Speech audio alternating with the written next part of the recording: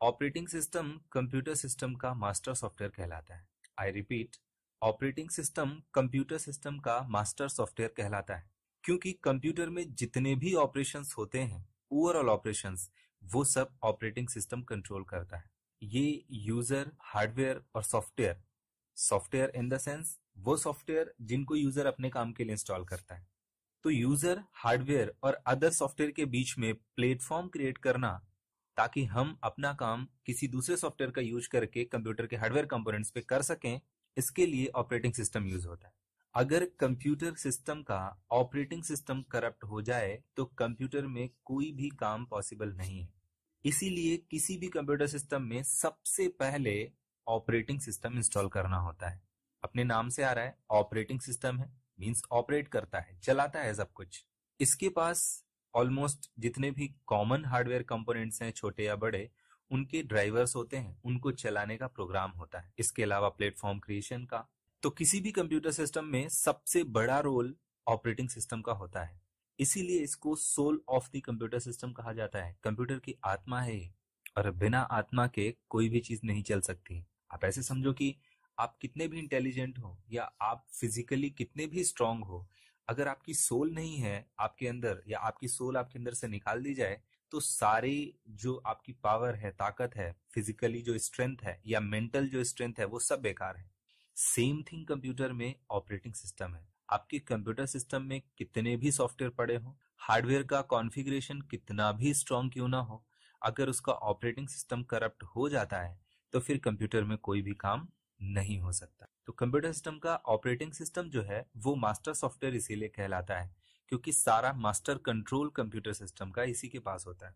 आप यहाँ पर देख सकते हैं, मैंने एक छोटा सा फिगर बनाया है, इस मैंने दिखाया हुआ है कि ऑपरेटिंग सिस्टम किस तरह से यूज़र को, हार्डवेयर को और अदर सॉफ्टवेयर को इंटरेक्ट कराता है। मीडिएटर है, कंट्रोलर है, मैनेजर है ये कंप्यूटर सिस्टम का। आपकी एक सिंगल कमांड से लेकर के प्रिंटिंग, स्कैनिंग सब कुछ ऑपरेटिंग सिस्टम करता है। आपकी एक एक कमांड्स को इवन आप माउस मूव करते हैं तो उस मूवमेंट को भी सेंस करके उसको रिस्पॉन्स करने का काम ऑपरेटिंग सिस्टम का है। ऑपरेटिंग सिस्टम मेन सॉफ्टवेयर है कंप्यूटर सिस्टम का। फ़र्स्ट सॉफ्टवेयर आप सबसे पहले इसी को इंस्टॉल करते हैं, उसके बाद आप आगे काम करना शुरू करते हैं। ऑपरेटिंग सिस्टम के एग्ज़ाम्पल में हम कुछ ऑपरेटिंग सिस्टम के बारे में जानते हैं। जैसे सबसे पहले हम लोग पढ़ते हैं डॉस के बारे में। ये काफ़ी पुराना ऑपरेटिंग सिस्टम है 1981 में डेवलप किया गया था माइक्रो कंप्यूटर्स के लिए। हम लोग जो कंप्यूटर यूज़ करते हैं, इनको माइक्रो कंप्यूटर कहते हैं। इसके अलावा और भी कई तरह के कंप्यूटर होते हैं mainframe mini robot computers इसके अलावा सुपर कंप्यूटर्स जिनको आने वाली आगे की स्लाइड्स में हम लोग डिस्कस करेंगे। तो हमारा जो डॉस ऑपरेटिंग सिस्टम है, ये बेसिकली माइक्रो कंप्यूटर्स के लिए बना हुआ है पर्सनल कंप्यूटर्स के लिए। ये बहुत पहले यूज़ होता था कंप्यूटर्स में, एक character user interface operating system है। इसको command line interface operating system भी कहते हैं, क्योंकि इस पे माउस का यूज़ नहीं होता था। सिर्फ़ कीबोर्ड के थ्रू कैरेक्टर्स के थ्रू टाइपिंग करके कमांड्स दे करके हम इस पे काम करते थे। मीन्स कि अगर हमें कोई फ़ाइल बनानी है तो हमें कंप्यूटर को टाइप करके बताना होता था कि हम एक फ़ाइल बनाना चाहते हैं। तो अब पूरी लाइन तो नहीं उस पर लिखनी होती थी I want to make a file I want to delete a file उसके लिए एक वर्ड बना दिया जाता था कि आप ये वर्ड टाइप करेंगे तो कंप्यूटर समझ जाएगा कि आप ये काम करना चाहते हैं। और उसकी बेसिक जो रिक्वायरमेंट्स है वो आपसे लेगा और आपका काम कर देगा। तो वो जो वर्ड बनाया जाता है पार्टिकुलर टास्क को पार्टिकुलर काम को करने के लिए उस वर्ड को कमांड कहा जाता है। उस कमांड को हम टाइप करते हैं और कंप्यूटर समझता है कि हम ये करना चाहते हैं और वो हमारे अकॉर्डिंग परफॉर्म करने लग जाता है। तो सबसे पहले डॉस ऑपरेटिंग सिस्टम यूज़ होता था। आजकल तो हम लोग विंडोज़ यूज़ कर रहे हैं कंप्यूटर सिस्टम में। जो डॉस है डिस्क ऑपरेटिंग सिस्टम है कैरेक्टर यूज़र होने की वजह से इसमें कमांड्स को याद रखना पड़ता था बहुत ज़्यादा। अगर कोई कमांड याद नहीं रख सकता है तो फिर वो इस पे काम नहीं कर सकता है। आपको एक सिंगल फ़ाइल ओपन भी करनी है, देखनी भी है तो उसके लिए कमांड चाहिए होगी। तो जिसको जितनी ज़्यादा कमांड्स आती थी, वो उतना ज़्यादा परफेक्ट माना जाता था कंप्यूटर की वर्किंग में। ये बहुत पहले की बात है। आजकल तो ये यूज़ नहीं होता है नॉर्मल यूज़ में, क्योंकि कैरेक्टर यूज़र पे काम करना बहुत टफ होता है। हालाँकि ये बहुत सिक्योर होता है। कैरेक्टर यूज़र इंटरफेस जो होता है सिक्योरिटी पर्पज से बेस्ट है, पर यूजुअली सब लोग यूज़ नहीं करते हैं इसको, क्योंकि इस पे काम करना बहुत टफ होता है और थोड़ा बोरिंग भी होता है। प्रेजेंट की हम बात करें तो हम लोग अपने माइक्रो कंप्यूटर्स यानी लैपटॉप या डेस्कटॉप कंप्यूटर्स में विंडोज़ ऑपरेटिंग सिस्टम यूज़ करते हैं। तो बेसिक रिक्वायरमेंट है कंप्यूटर की, सबसे पहले उसको ऑपरेटिंग सिस्टम चाहिए। डॉस चाहिए डॉस नहीं तो विंडो चाहिए। अब डॉस यूज़ करें या विंडो तो डॉस तो पहले यूज़ होता था, अब यूज़ इसलिए नहीं होता है, क्योंकि अब हमारे पास विंडो है बेस्ट ऑप्शन बेस्ट क्यों है? क्योंकि ये ग्राफिकल यूज़र इंटरफेस प्रोवाइड करता है। ग्राफिकल मीन्स ग्राफिक्स इमेजेस तो इन ग्राफिक्स और इमेजेस की वजह से कंप्यूटर पे काम करना आसान है। यहाँ पे हर एक चीज़ का कोई ना कोई छोटा सा ग्राफिक है जिसपे हम क्लिक करते हैं। मीन्स यहाँ पे माउस यूज़ होता है। तो क्लिक करते हैं और हमारा काम हो जाता है। फ़ाइल खुल जाती है, बंद हो जाती है डिलीट हो जाती है।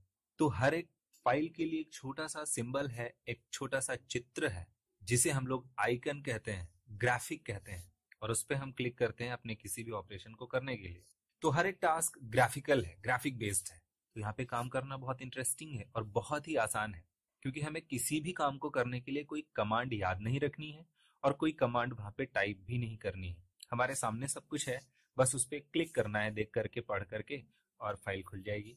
क्रॉस का साइन बना हुआ है, हमें वहाँ पे क्लिक करना है और फ़ाइल बंद हो जाएगी। जबकि पुराने ऑपरेटिंग सिस्टम जो कैरेक्टर यूज़र थे वो साइज़ में बहुत छोटा होता है तो उसकी स्पीड बहुत फास्ट होती है। Graphical user interface operating system में सॉफ्टवेयर को ग्राफिकल बनाने के लिए और उसको इंटरेस्टिंग बनाने के लिए बहुत सारे स्पेशल प्रोग्राम्स ऐड कर दिए जाते हैं उसके साथ, जिसकी वजह से उसका साइज़ बहुत हैवी हो जाता है। और हैवी साइज़ होने की वजह से वो टाइम कंज्यूम करते हैं at the time of the running जब हम उन्हें रन करा।